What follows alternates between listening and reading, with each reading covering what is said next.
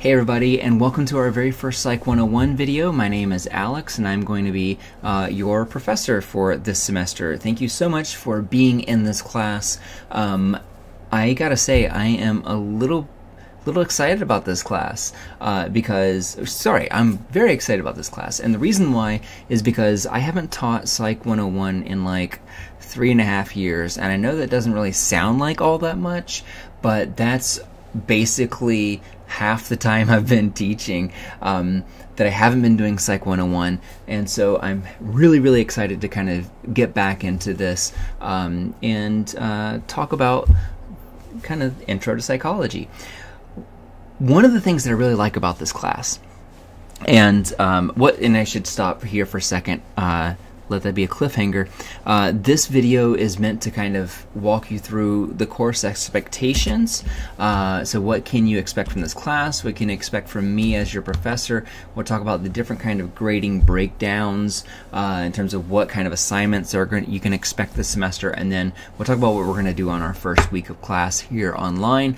Um, but to get back into my train of thought, um, one of the things that I really love about Psych 101 is that um, because not everybody loves teaching Psych 101. Sometimes, usually, professors that have been in, you know, been teaching for a while, they don't really like Psych 101 all that much. Um, the reason why I love it is because it feels like a greatest hits kind of album. If you remember those uh, when they still used to make greatest hits albums. Uh, but basically, the idea is like we're going to go through psychology and we're going to talk about some of the most important, most popular, most influential research designs and experiments and ideas and people and, and concepts uh, and kind of leave maybe all the boring stuff uh, for uh, for other classes. We're just going to talk about the cool stuff basically. That's the way that I see it. Uh, so let's get into it. Before I give you a definition about what psychology is, because some of you maybe you took this in high school. Maybe you already know what psychology was. I didn't. I didn't really know what I was getting into until Psych 101. Uh, so instead of giving you a definition, I want to show you maybe some of the different areas um, that we're going to be speaking to uh, this semester. So when we say what psychology is, what do we mean about that? So in order for me to answer that question, let me ask you another question. Which of these two smiles is real? Which of these two smiles is genuine? It's the same guy sitting in the same uh, office chair behind the you know in front of the same bookshelf with the same books on it. And yet one of and yet these pictures are different because one of these is a genuine smile and one of them is a fake smile. Which one is it? The real smile is the one over here on the left. And some of you already know why. Um, if you don't know why that's okay. Let's take a let's take a look at the other one. What about this? This image right here. Which one of these is the genuine real smile take a second to look. What is it that you see? Oftentimes, people will get this right, but they may not be able to articulate why they got it right. So, in this case, the guy on the left is smiling, and in this case, the guy on the right is smiling. This is the fake smile. How do you know that, though? What is it that sticks out to you?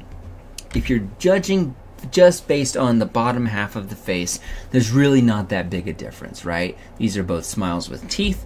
These are both smiles that don't have teeth. If we look at how much they are smiling, they're roughly the same in both cases. The, the shape of the smile is roughly the same. But what is different is the eyes. So if you look at the eyes over here, you see the little bit of a wrinkle uh, going on here. The eyes are smaller, uh, less defined wrinkles on this side of the face and the fake smile image. And the same is true over here. Here for the fake smile, we don't really see all that many, uh, that the eyes aren't really smiling, so to say, uh, and, and they are here. Uh, so what does that mean? Does that mean that you have more wrinkles on your face, that you're happier, that you have real smiles? No, but it does mean that when we are smiling, we're not just smiling with our mouth. That there's more that goes into a genuine smile, that is an involuntary reaction that our bodies have, and we don't think about it, but our eyes are impacted by happiness. That whenever we're smiling, you can kind of feel the corners of your eyes also kind of close a little bit uh, or squint a little bit. Uh, involuntarily as part of that smile. Um, I had someone in, in a Psych 101 class refer to that as the SMEYES, the S M E Y E S, which I think is a great way to talk about it. So you can tell if somebody is faking uh, how happy they are on social media by looking at their SMEYES and whether or not they have them. Uh, all right, so let's change topics a little bit because we are going to be talking about emotion. We're going to be talking about faces and, and what they give away in body language this semester. What about, to change gears, which of these is an actual penny? You can look at these 12 variations, and only one of them is the correct penny. Which one is it? Sorry, I sipped some coffee. You're going to get a lot of that this semester. I love coffee, and I usually record these a little bit later at night. You can even see my dog over there, Fozzie. He is asleep behind me, uh, keeping me company though. Um, so, which of these is the actual penny? Go ahead and make your guess. Put some money on it. It is this over here in the top right. And yet, there's a pretty good chance you didn't get that right. And I'm not just saying that because I'm trying to insult you, but because whenever I teach this class, whenever I teach classes on memory, people are really, really bad at, at, identifying this penny as being the authentic penny. But why?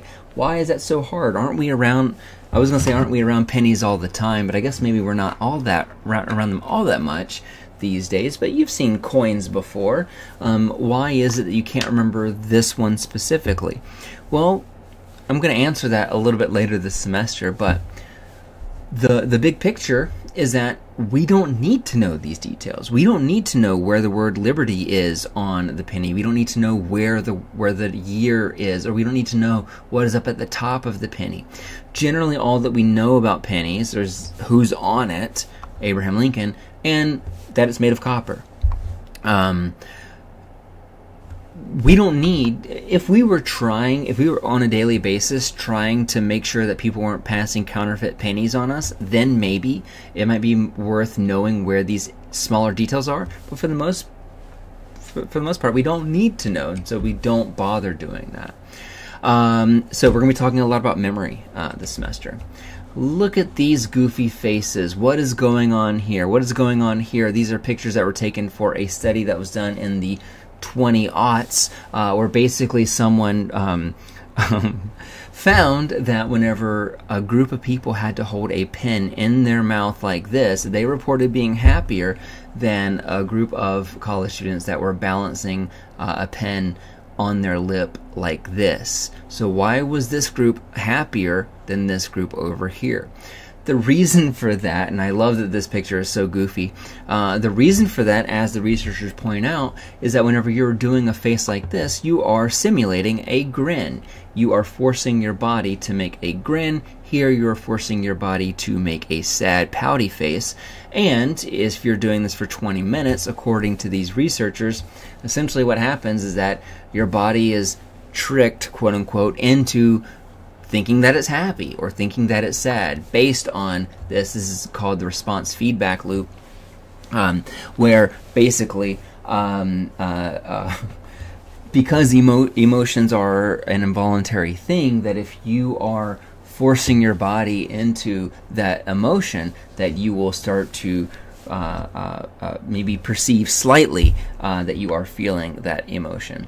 Uh, so sometimes, if you ever see me on campus, I'll be carrying a pencil around in my mouth like that, forcing myself to grin because back when I first heard this, when I was in Psych 101, I was like, hey, if that's true, maybe I can use that to my advantage. If I'm having a bad day, maybe I can hold a pencil like that and it'll make me happy. I don't know. That's what research says. Uh, is it true? I don't know. You tell me. Do I seem like a happy person? Um, all right. There's a lot more to unpack out of all of these studies that I'm talking about, but I'm just kind of trying to get you engaged and interested in some of the things, some of the concepts we're going to be talking about this semester. Here are a couple of more. Uh, let's walk through an awareness test here. Uh, oh, you shouldn't see that. That's behind the scenes. One second. Where is? Here we go. Um, all right. This is an awareness test. Oh, sorry, that might be too big. Here we go. How many passes does the team in white make? Go!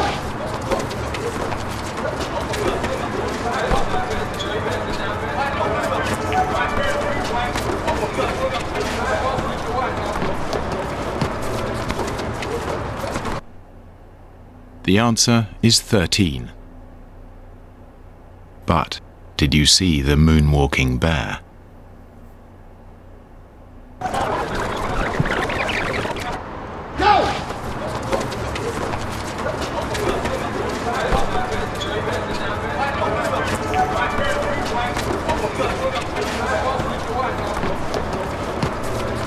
Alright, so you probably saw it, right? That the moonwalking bear moved across the screen. Now, whenever I talk about this in the classroom, I hope that this video, is hard for me to show you a video inside this video, um, but hopefully whenever you saw this, um, uh, you maybe didn't see the moonwalking bear on the first try, and when I show this in the classroom, sometimes people will say, wait a second, it wasn't actually in the first half. You can see it here, you can see him right there, um, but he is also there in the first half. Sometimes people think that, I don't know, some kind of trick um, where he's only in the second half of the video, but no, he's there. So the interesting thing about this is that people will report not seeing this moonwalking bear. Why does that happen? Um, the interesting thing here is that our eyes, everyone who sees this, regardless of if you report seeing it or not, whenever we see that, whenever the moonwalking bear is going across the screen, our cornea, uh, our retina, is picking up that information. We are physically seeing it, but we are not actually perceiving it. So there is a difference between sensation and perception that we'll be talking about. Uh, I got another video for you here. This is a really old one, so I apologize for the quality, but I had to show it because this is one that I saw when I was in uh, not Psych 101, but a learning class that really helped kind of solidify classical conditioning for me. So here we go. And I know it might seem a little bit cruel that this uh, older sister is uh, torturing her younger brother, but hey, if you are an older sister, you just you know how it goes.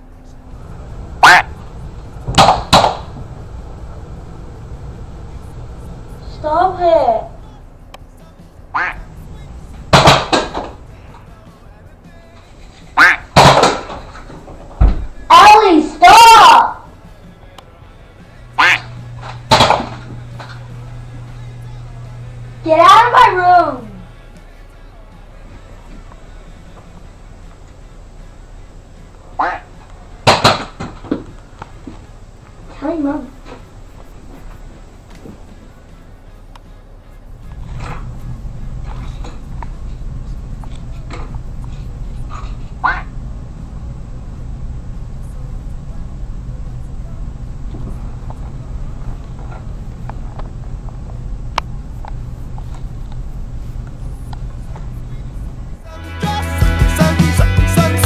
All right. Okay. So again, I apologize for the quality. I know it's not the best quality, but um, and maybe it was a little bit mean of of the sister to do that.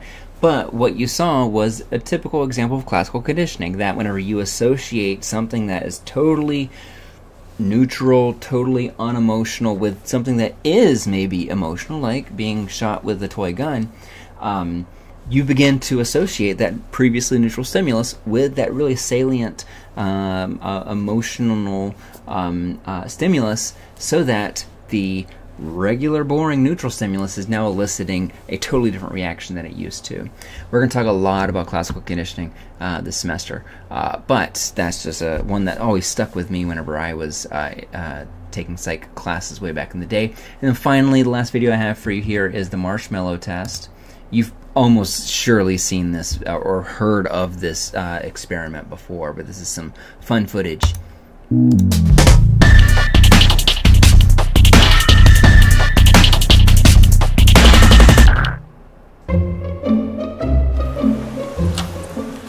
Okay, sit in that chair.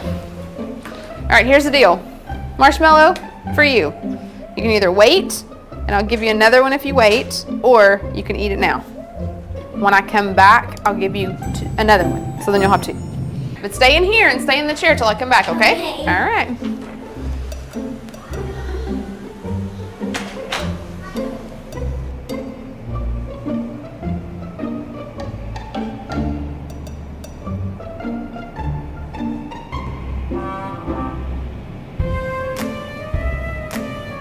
I'm gonna go do something and then I'll come back. It smells yummy. It smells really good.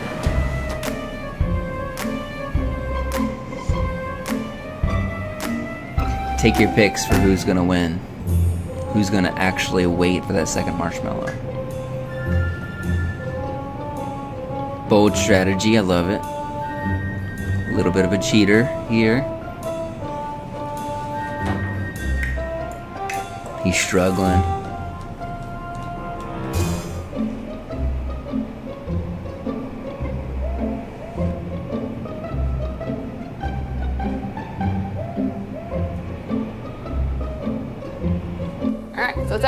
Have it now or you can wait. Okay?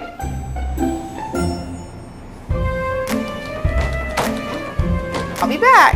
Stay in the chair, okay? Okay.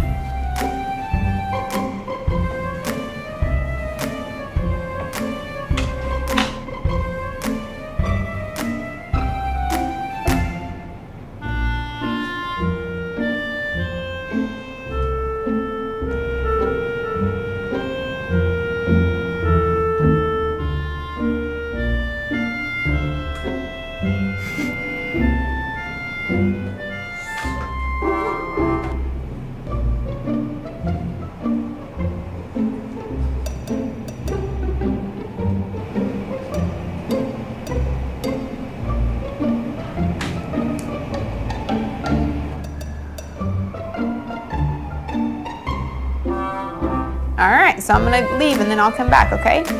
So you can either eat it right now or you can wait. Either way, okay? Okay.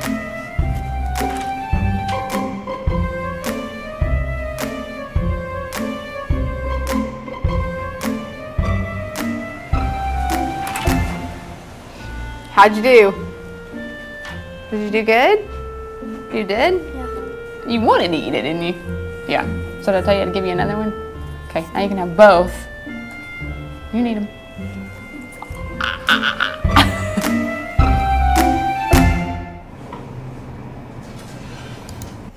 need them. All right, how nice, right? So, yes, that even qualifies as psychology. What that study shows, uh, basically, there was a what they call a longitudinal study, where they check in at a later time to see how results compare across the time span.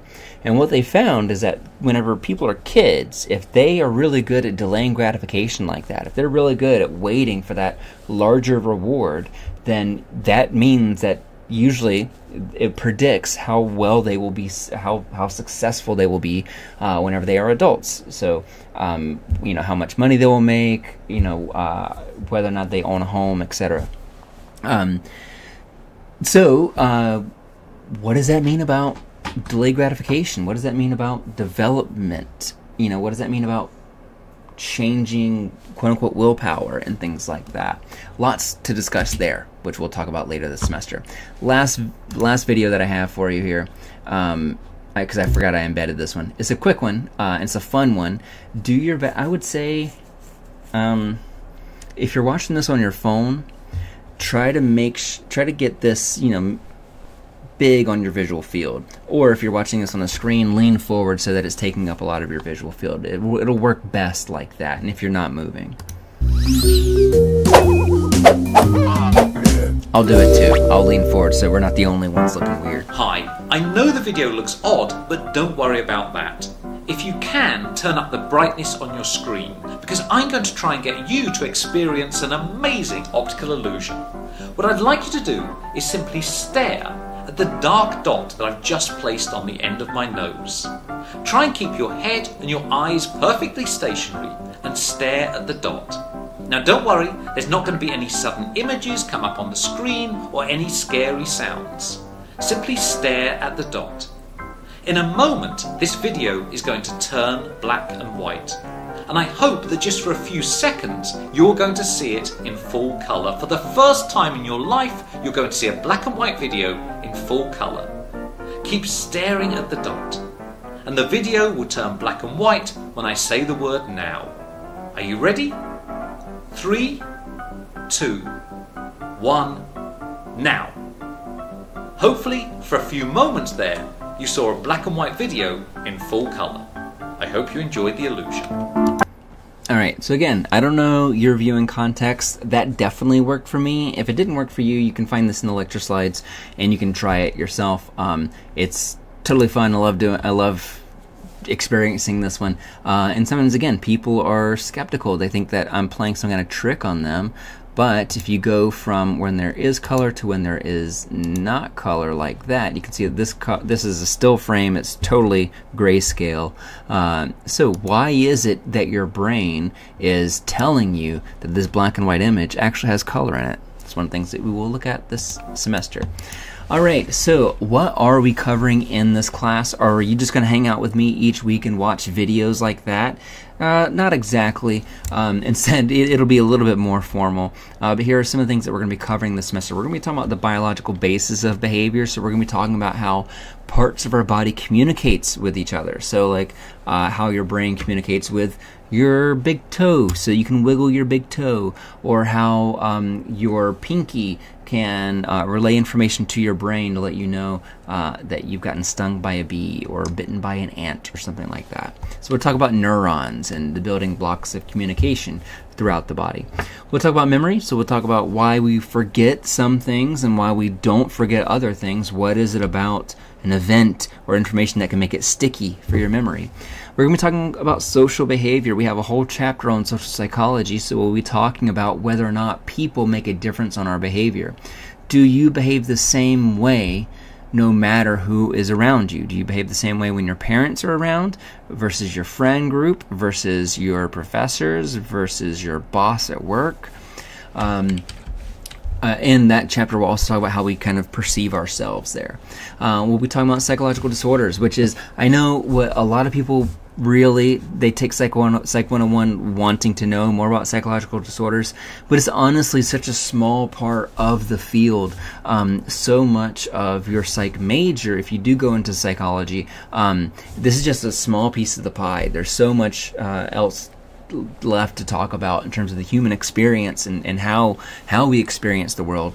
Um, but we will be talking about psychological disorders as you probably would have predicted. But we're only really going to be talking about it uh, for one chapter, dedicated for one chapter. I'm just trying to get your expectations uh, for the course um, in in line. Uh, so we'll be talking about, for example, what schizophrenia is. What are the symptoms of schizophrenia? How does it start? We'll be talking about how we treat things like depression or anxiety or or trauma.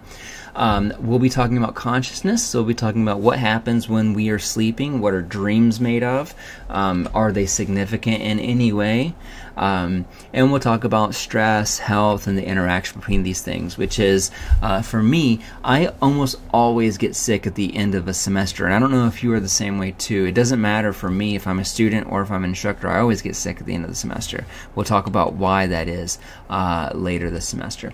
Um, so, this is a good point to take a break if you are like me and for me i am i'm pretty good at watching movies but if i'm watching tv or something like that i usually need a little bit of a break in between uh, key ideas. Um, that's just the way that human attention works. And those of you that use tiktok a lot know this especially well. I've heard people talk about tiktok brain where you can't really pay attention to things for more than like two or three minutes where you get a little bit restless. Um, so I'm going to record these videos for each chapter as long videos uh, to give you the flexibility if you want to pause and come back, or if you want to take breaks, or if you want to just kind of binge it all in one place. But I will try to let you know when some good points to break are. That was one of them. All right, so let's talk a little bit more about the nitty gritty specifics uh, about the course structure now that we have some idea about what we're going to be talking about in Psych, in, in Psych 101. So, our textbook is uh, just called Psychology and is offered by a bunch of different authors. It is required, but it is free. You do not need to pay for it at all. Um, you can click on this link, which you can also find in our syllabus. It'll take you to this landing page. This is a uh, totally free um, uh, uh, textbook, and I forgot to mention that the lead author here is Rose Spielman, and she is from Quinnipiac University, which is right down the road from me because I live in Connecticut. Uh, so, um, the best way to, to, to engage with this book, if you are somebody that's on the go a lot, I don't know, maybe downloading a PDF might be helpful. If you want to print out some pages, that can be a way to do it too. You can also order personal copies if you like to have the, the physical uh, thing in hand. Uh, but I like to just hit view online, um, it's going to ask you for a donation or whatever. So maybe if you want to, you can bookmark this chapter so it doesn't ask you for for money because you're a broke college student, just like uh, everyone else is, and that's why it's free. Is because I don't want you to have to pay for uh, books because I was a broke college student and I know what that life is like. Um, all right, so uh, this is the textbook. Um, basically, it has you know digital pages that are kind of grouped by course ideas. You can navigate it pretty simply. Got all these history things. We talk about Maslow and his hierarchy of needs, but you can kind of see all the all the different chapters uh, here on the side this is digital, so make good use of that. You're going to see that, you know, um, for example, if you know you, you have a, a quiz or something like that, and you're asked a question about, let's say, uh, Pavlov. You can type in Pavlov, and it's going to give you all these different examples where Pavlov comes up. So maybe it's a chapter six thing. Uh, so um, yeah, you can highlight it if you want to. Uh, you'd have to create an account to do that. There are guides. I have not tried any of those guides, so I can't speak to them. Uh, it says that it's free, so check it out if you want to. Um, but yeah, I'm hoping that because this is like a free, easy to access uh, textbook, that maybe that'll encourage you to check it out and to, to stay engaged with the readings. Um, so the catch here is that, as you may have seen, the images aren't super good. And I think really that's honestly the biggest drawback to this textbook is that the images aren't really super fancy. They're, the graphics aren't cutting edge, amazing um, for the figures and for the data. So um, I think that this book is great for Psych 101 course like this, but I, I don't know, it's not perfect. But I think that at least in my experience of using textbooks, because the ones that I used before this one, it usually runs for about 150 bucks. Um, I don't know. I'm willing to take some kind of grainy, not great uh, images to save 150 bucks. um, all right. Whoops, I did not mean to click that again. All right. So let's talk a little bit about what this course is like. I will be upfront with you that this course is a lot of work. There are going to be a lot of assignments. You have something to do every single week, uh, except for maybe this first week. Um, but uh, you're going to have multiple grading opportunities. So uh, if you're like me and you're somebody that doesn't really do well on the first couple of assignments, never fear. Um, the quizzes that you're going to be doing this semester, there's going to be one each week, and so by by comparison, one single quiz is not going to sink your grade.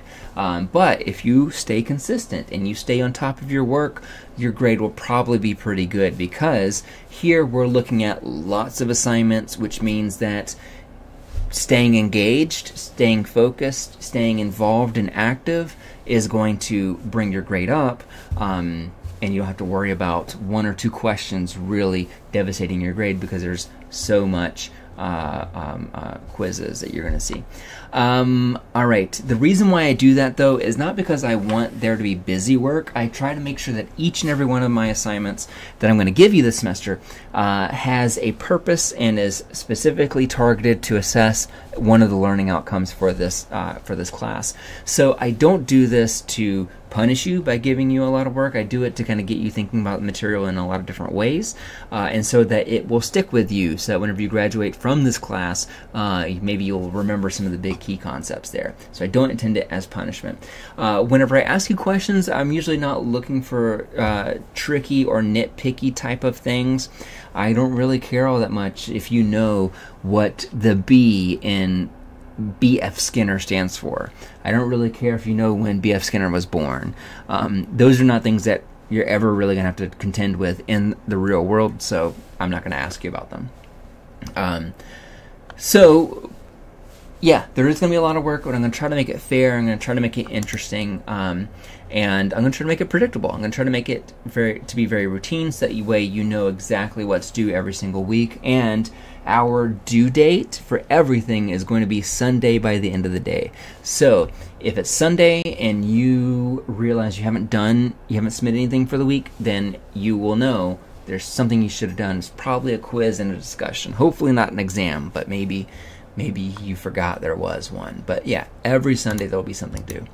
The way that I see our class is not I don't see our me and you as being antagonistic towards one another. I see us as working on the same team. I see myself as on your side because I want you to do good in this class. I want you to succeed in this class. I want everybody to su- succeed in this class. And so I think for that reason, I kind of see my role a little bit like a coach, where it's my job to kind of give you whatever tips and strategies out of my playbook. Um, so that way you can go and succeed against Psych 101, that you can beat those concepts, you can master that material, um, that you can do well on, on the quizzes and exams. Uh, so, um, but because I'm the coach, I can't go out and play as part of the team. I can't go run the ball or whatever, but I can give you all of my tips and strategies uh, that I can to get you there. Um, all right. Uh, here is some really boring office hour stuff. So this is all in the syllabus, just in case you need it. But I am reached best through email. Uh, I know that sometimes peop- some professors like to be messaged on Plato um, or Blackboard. I don't really like that, and the reason why is because at least for professors, there's I don't think there's a way that I can get that as an alert on my phone. Uh, that I got an email, uh, that I got a message from you. But I do get alerts on my phone if you send me an email. So if you send me an email, that will work. Um, just give me 24 hours to turn that email around. Um, it is. I'm gonna be real with you for a second. There's a generation gap between uh, between a lot of students and professors, um, just generally speaking. But uh, as I'm a millennial, and I know a lot of y'all are going to be Gen Z or or even maybe even younger than that.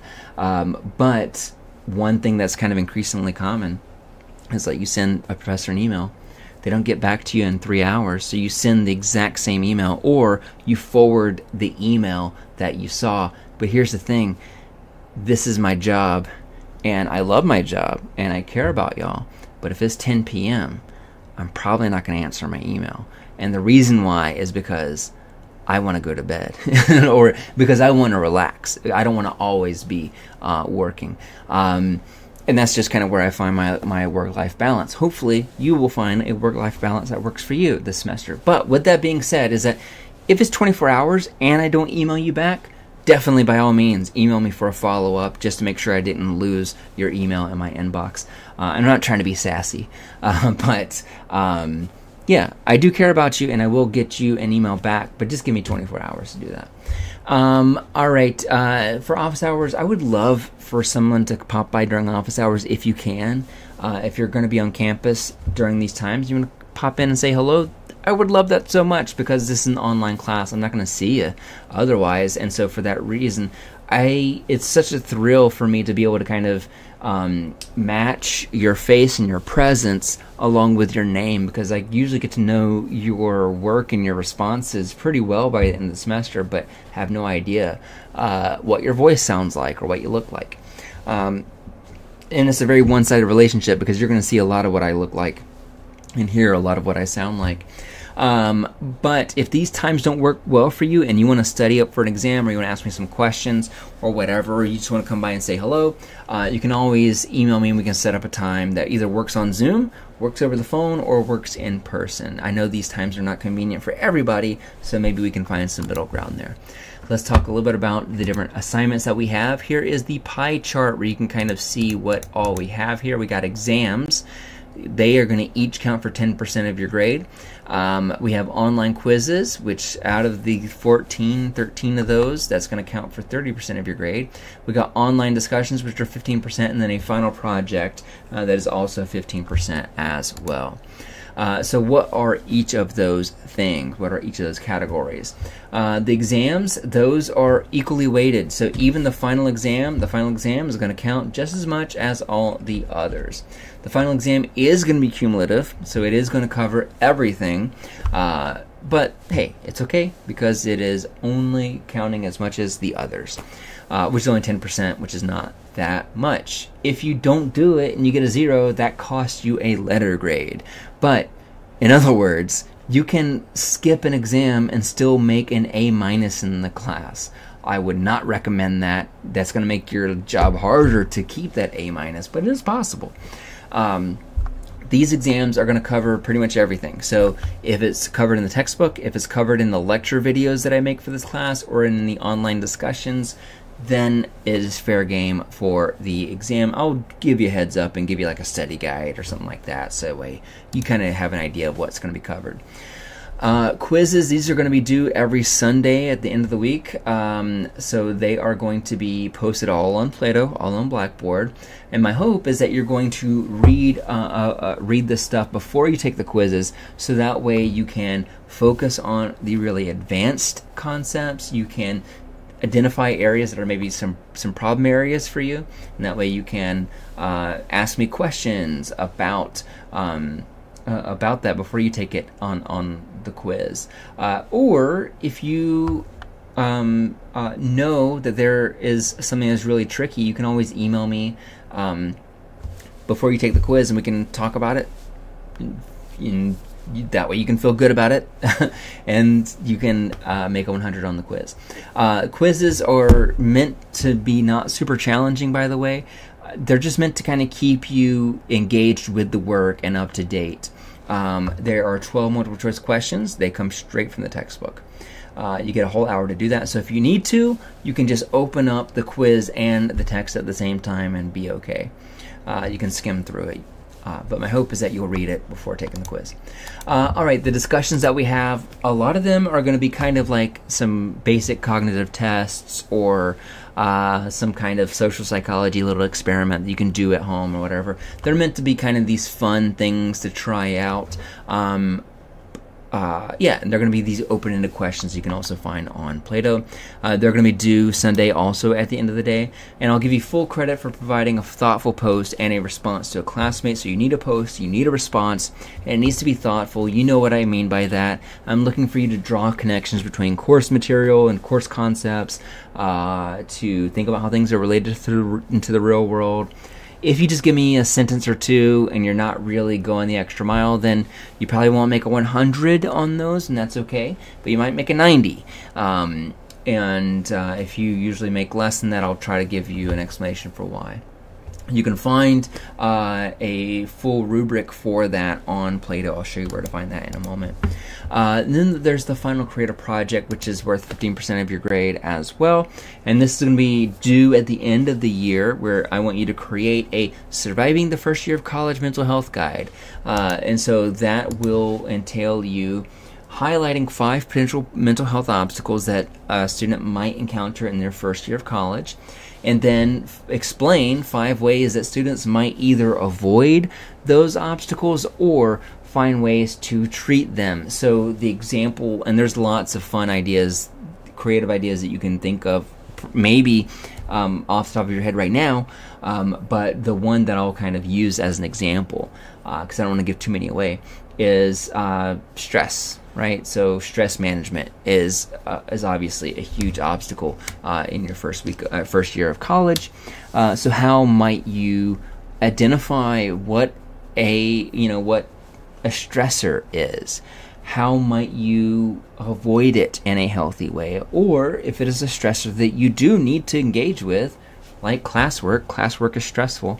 Um, what is a way to to remedy that to treat that? Maybe it's that you uh, set up times specifically to do your work.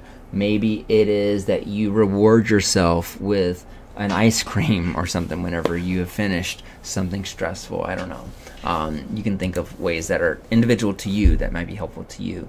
Um, and I want you to be creative here. So you can submit this as a paper. You can submit it as like a cool pamphlet with like images on it, or you can make a video uh, explaining a countdown of five, you know, the five biggest mental health obstacles uh, for first year students. Whatever. I want you to be creative. I want you to do something that is not just fun for you, but is rewarding for you. Something that you feel like, okay, now I'm understanding this a little bit better. Because um, I know some of you are first year students. Not everybody is, but some of you are. Um, that full rubric you can find on Plato later. Other details, if you require any kind of accommodations to the Banacos Center, just let me know. I'm happy to uh, work with you on those. Uh, there is a makeup policy which is minus 10% each day that something is late. I think honestly that's pretty generous because a lot of the stuff you're going to have more than a week in advance. Uh, so you can do it anytime throughout the week, um, even a week ahead of times. Um, so if there is an emergency, just email me, let me know, and I'd be happy to kind of work with you on those things. This is an online class. There's zero tolerance for plagiarism. I think y'all know exactly what I mean by that. So if you cite something from an outside source, and actually here is something that I feel like maybe professors don't stress to their students, is that um, if you find information from an outside source, and again, this is an online class, probably you're going to Google something, right? It's okay to Google it as long as you explain that you Googled it. Because for me, as a researcher, as someone who publishes about the research that I do, people know that I read other research papers and that I use ideas from that. But eh, because every scientist does and is and is expected to. But we have to cite our sources. We have to say, here's where I got this information. Here's where here's how I know you know what the limitations of short-term memory are. It's because it's cited in, it's because it was originally researched in this paper. Um, so it's good practice to cite where you get info. So if you are using information that you got from the textbook on a short answer question on an exam, say where you got that info. That's all you have to do and that communicates to me that you're not trying to plagiarize you're not trying to pass off someone else's work or an ai's work as your own. Uh, you can say hey i used ChatGPT to do this or hey i found this on wikipedia or hey i found this in the textbook. If you have questions or if you're worried about that let me know. And again this is one of those things where it's like if you're reaching out ahead of time, then I can generally assume that you're not trying to do anything devious. You're not trying to be dishonest in your work. And don't forget office hours. I'm super happy to meet with you um, with any kind of questions you have. If you do have any questions, you can email me right now uh, if you want to. Um, but before I let you go, I have a couple of things I want to run through. The first is the first discussion that uh, that we're gonna have for this semester is part of the chapter one section, which is not due this week. is actually due next week. We're this first week we're kind of spending time on Plato, getting used to things. But I wanted to give you a little bit of a head start in case you wanted to work on next week, which is chapter one. So this is the discussion that you can do. Uh, just give me your name, and what I'm looking for here is not the name that it says, you know, um, on Plato or on Blackboard, but give me the name that you prefer to be known as, that you like to go by. Um, if you're if you're if you go by your your middle name instead of your first name, then then just say that. We'll be happy. You know, if we can, we'll do our best to remember that and to you know to honor that. Um, let me know what year you are at Westfield. Uh, tell me something that you're interested in learning about in the class, and what is something that you think is unique about yourself.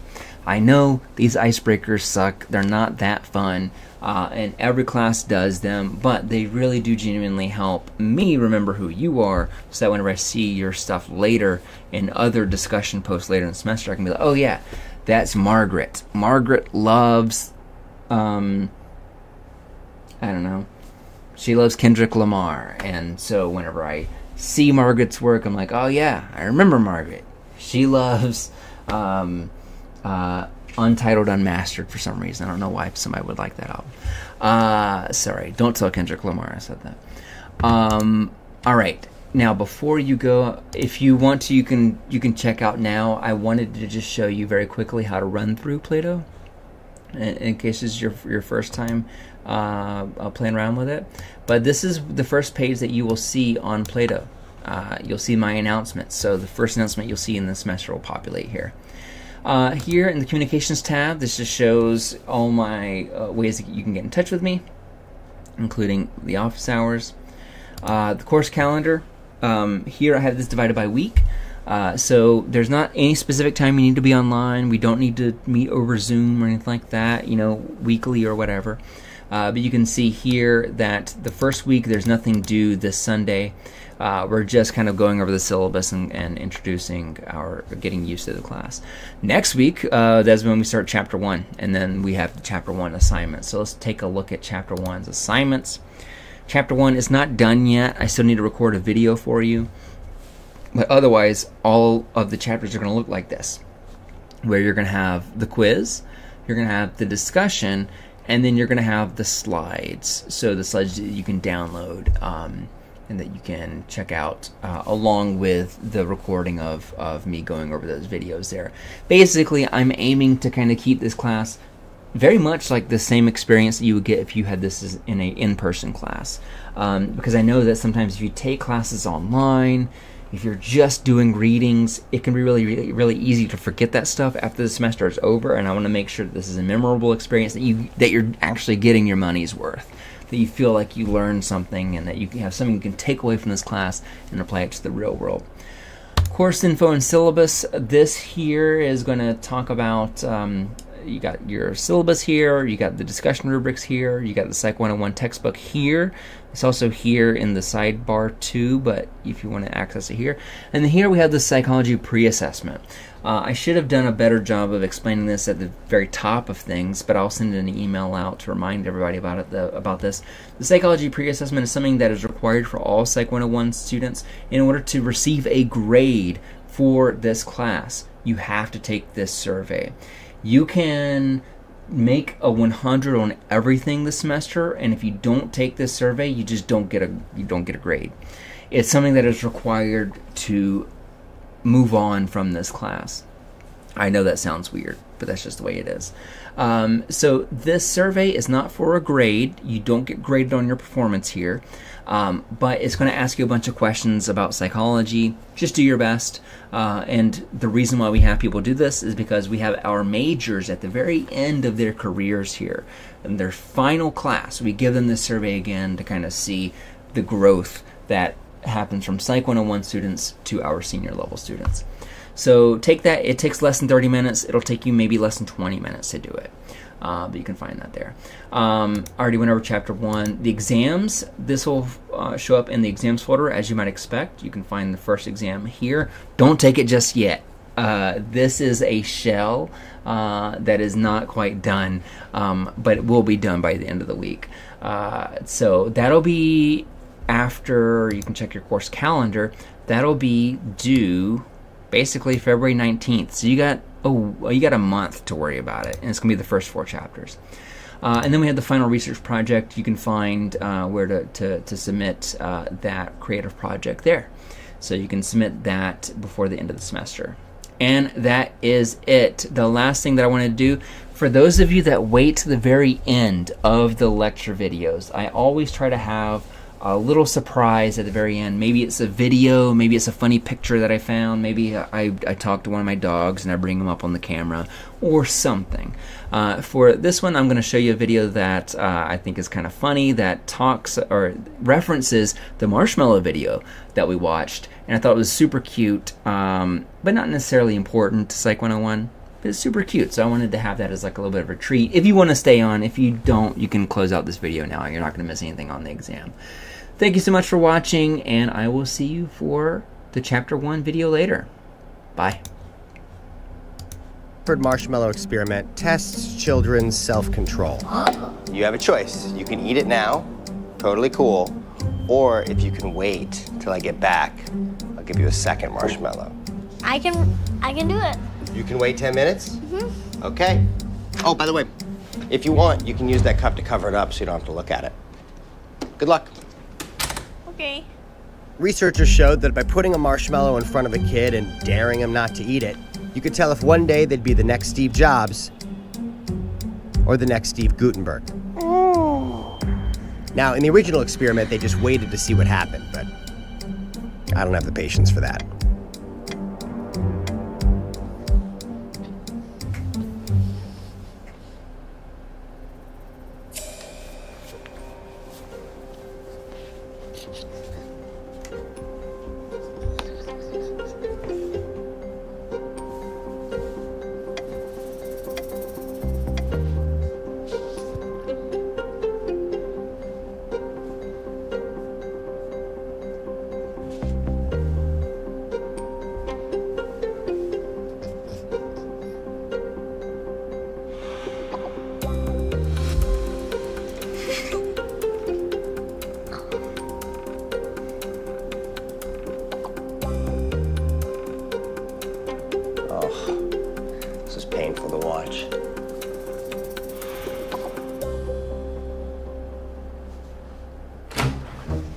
Right. Oh, you ate it.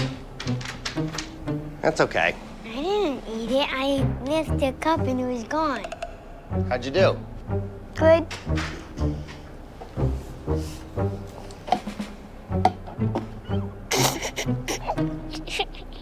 Was it good? Yeah. After I slipped the cup, it just disappeared. What disappeared? The marshmallow. Would you like another one? Yeah, it just disappeared. Oh, buddy, here. You want to eat this one? It's okay. Here, eat this one. You can eat this one. It disappeared like magic? Yeah. Well, eat this one. Tell me how it tastes. Good. Is it good? Well, we made a kid cry, so I'd say phase one was a success. All right, what a fun kid, right? My heart goes out for this kid. What a what a doll. All right, see you later. Bye bye everybody.